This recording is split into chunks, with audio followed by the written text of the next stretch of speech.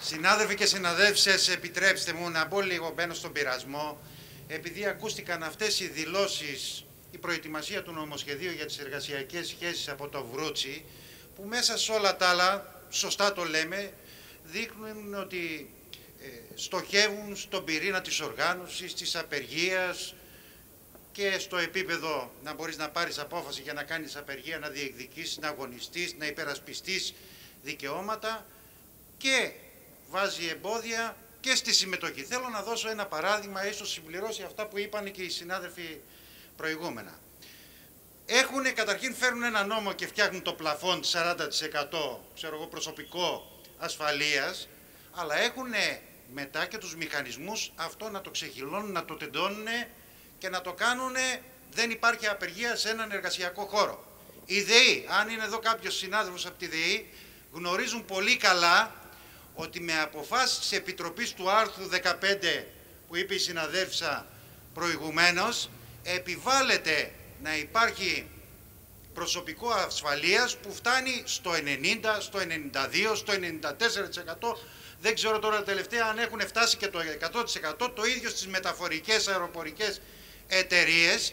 Άρα ο καημός τους είναι πώς θα επιβάλλουν μια σιγή ηχθείως θα βάλουν το εργατικό, το ταξικό κίνημα στο γύψο να μην μπορεί να αγωνίζεται. Για να μην ε, λέω άλλα και να περάσω στην ουσία της τοποθέτησης, συνεχίζω με το ζήτημα του συνδικαλιστικού νόμου και πώς συνδέεται με τη γενικότερη κατάσταση. Όλοι οι νόμοι που αφορούν τη λειτουργία των συνδικάτων και τους αγώνες των εργαζομένων είναι κατανοητό ότι είναι νόμοι που προσπαθούν να βάλουν τους αγώνες της διεκδικής και τον προσανατολισμό του κινήματος στο καλούπι που απαιτεί η μεγαλοεργοδοσία. Είναι νόμοι κατά συνέπεια περιορισμών και απαγορεύσεων, νόμοι για να διευκολυθεί η εκμετάλλευση. Τέτοιος νόμος ήταν ο νόμος Λάσκαρης στο δεύτερο μισό της δεκαετίας του 70.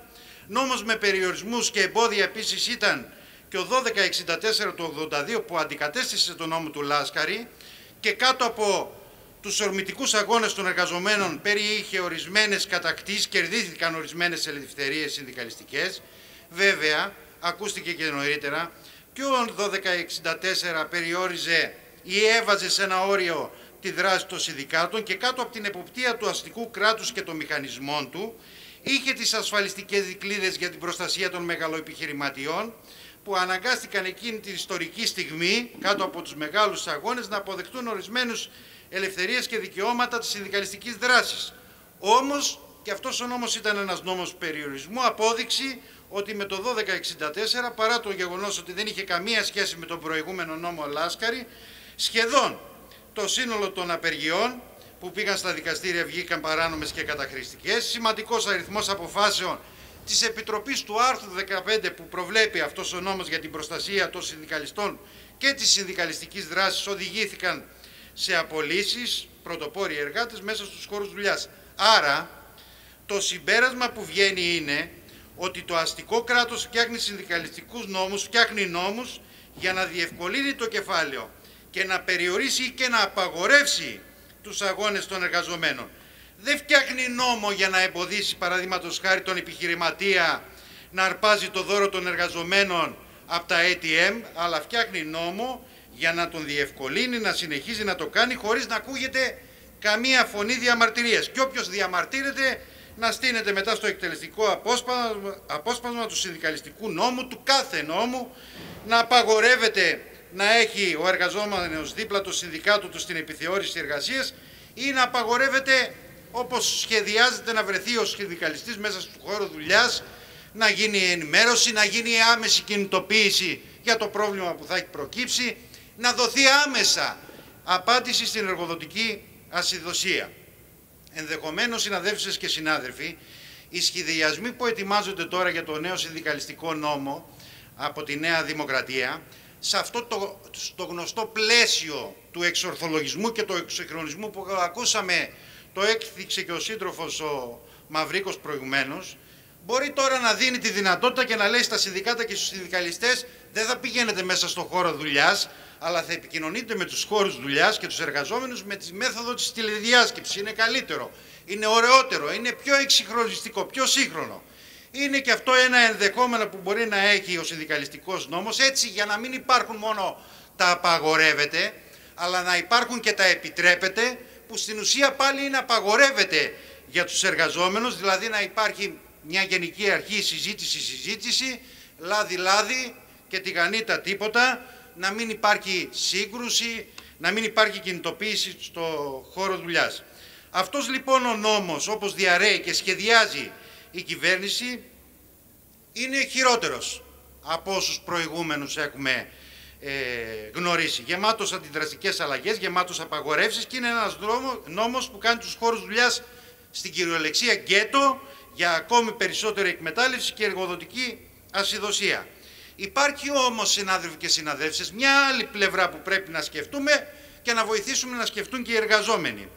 Οι σχεδιασμοί για το νέο συνδικαλιστικό νόμο δεν είναι αποσπασμένοι από τη γενικότερη επίθεση που δέχεται η εργατική τάξη σε όλα τα επίπεδα. Είναι ένα κομμάτι που συμπληρώνει το αντιεργατικό παζλ και είναι σε αντιστοίχηση με άλλες πλευρές της επίθεσης.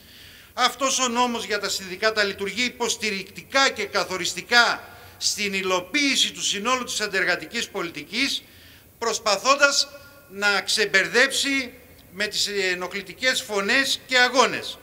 Και όπου ενοχλητικές φωνές, βάλτε τα ταξικά συνδικάτα, τα αιτήματα και τους αγώνες που έρχονται σε αντίθεση και σύγκρουση με τη γραμμή του κεφαλαίου, γιατί στην πραγματικότητα όλοι αυτοί οι σχεδιασμοί για τα συνδικάτα, το πλαίσιο που θα κινούνται κτλ, ο νόμος που σχεδιάζεται, δεν στοχεύουν, ας πούμε, την πλειοψηφία της ΓΕΣΕ, τον κυβερνητικό εργοδοτικό συνδικαλισμό.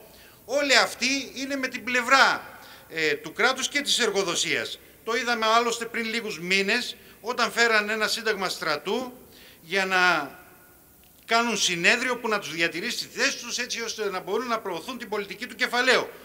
Ο νόμος, ο συνδικαλιστικός ας το πούμε έτσι, και οι καινούργιες σχεδιασμοί για τα συνδικάτα, κουμπώνει και ενισχύει την επίθεση της εργοδοσίας απέναντι ε, στα ταξικά συνδικάτα, απέναντι στα δικαιώματα και τις ανάγκες των εργαζομένων, είναι μέρος μιας γενικευμένης επίθεσης. Να το πω με ένα παράδειγμα λίγο για να γίνει πιο κατανοητό. Πάρτε για παράδειγμα τι γίνεται στο ζήτημα των συλλογικών συμβάσεων εργασίας. Με εκατοντάδες νόμους, εγκυκλίους, πράξεις νομοθετικού περιεχομένου, όλες οι κυβερνήσεις και οι σημερινοί σε αγαστή συνεργασία μεταξύ τους, η μία συμπλήρωνε την άλλη, αποψήλωσαν την ουσία των συλλογικών συμβάσεων εργασίας. Με νόμους που ψηφίστηκαν έχει ανασταλεί η εφαρμογή της υποχρεωτικότητας και επέκταση των συλλογικών συμβάσεων. Η αρχή της ευνοϊκότερης ρύθμισης για κάθε εργαζόμενο. Τώρα ισχυρότερες είναι οι επιχειρησιακές συμβάσεις που υπογράφουν οι γνωστές ενώσεις προσώπων, γνωστά δηλαδή τα γνωστά εργαλεία της εργοδοσίας, έναντι των κλαδικών συμβάσεων με προφανή τον στόχο πλέον η διαμόρφωση του μεροκάματου του μισθού να κατρακυλάει στο ατομικό επίπεδο που είναι πανεύκολο για την εργοδοσία να χειραγωγηθεί στα μέτρα που θέλει. Γιατί συναδέλφισες και συνάδελφοι είναι άλλο πράγμα και νομίζω το καταλαβαίνει και μικρό παιδί. Είναι άλλο πράγμα να είναι ένας μόνος του εργαζόμενος στο ζήτημα της διαμόρφωσης του μισθού του απέναντι στον εργοδότη που είναι αδύναμος να αντιμετωπίσει τον εργοδότη, την απειλή της απόλυσης και άλλο πράγμα είναι η συλλογική διαπραγμάτευση του μισθού στο επίπεδο του κλάδου πανελλαδικά με ε, μπροστάρι το σωματείο. Είναι αυτό που λέει με παροιμία ο λαός μας ότι από τα ξεκομμένα τρώει ο λύκος. Αυτό επιχειρούν να κάνουν τώρα οι εργοδότες να αποκόψουν τον κάθε εργαζόμενο, να τον φέρουν σε ατομικό επίπεδο για να μπορούν να τον χτυπήσουν καλύτερα. Με τους νόμους για τις συλλογικές συμβάσεις προσπαθούν να αφαιρέσουν από τα συνδικάτα το διεύλο επικοινωνίας που έχουν με τους εργαζόμενους. Γιατί, γιατί έρχονται τώρα ή γιατί έρχονται σε πρώτη φάση οι εργαζόμενοι στα συνδικάτα για το μεροκάματο, την ασφάλιση, τις συνθήκες δουλειάς. Έρχεται λοιπόν και η σημερινή κυβέρνηση και η προηγούμενη και λέει τα συνδικάτα δεν έχουν καμία δουλειά με τη σύμβαση.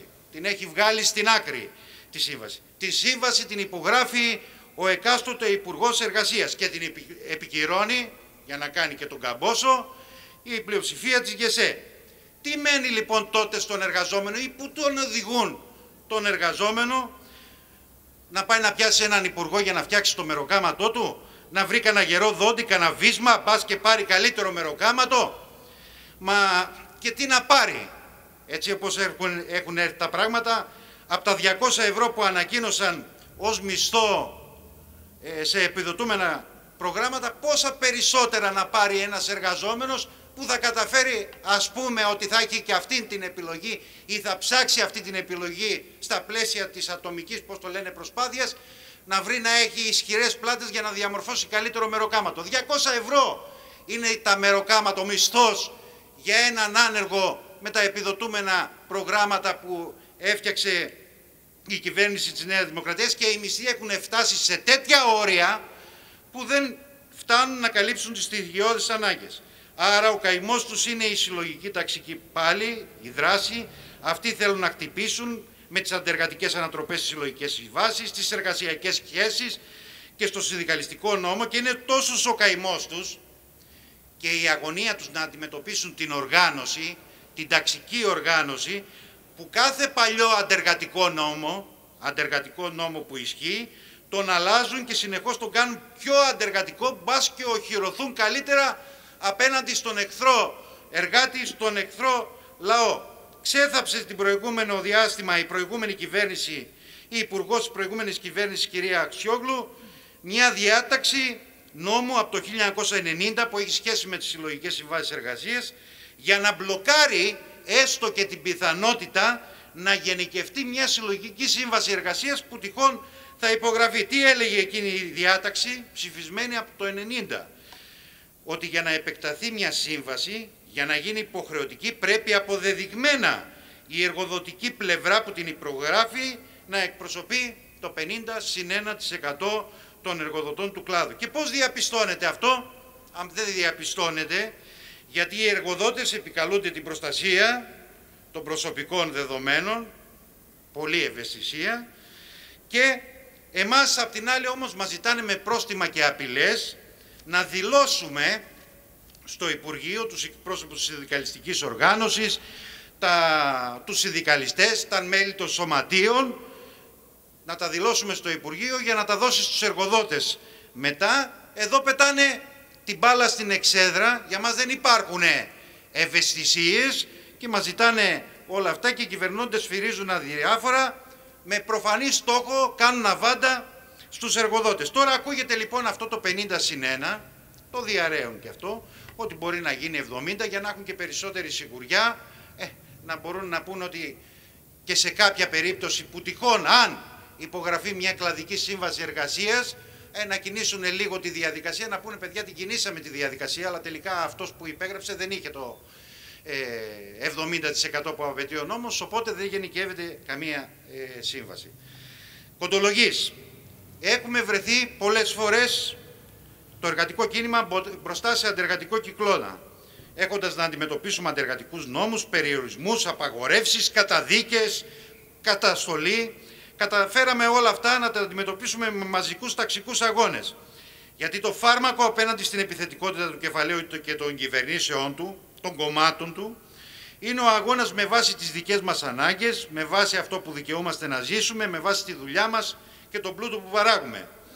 Η εξουσία του κεφαλαίου μας στερεί το δικαίωμα να ζήσουμε καλύτερα.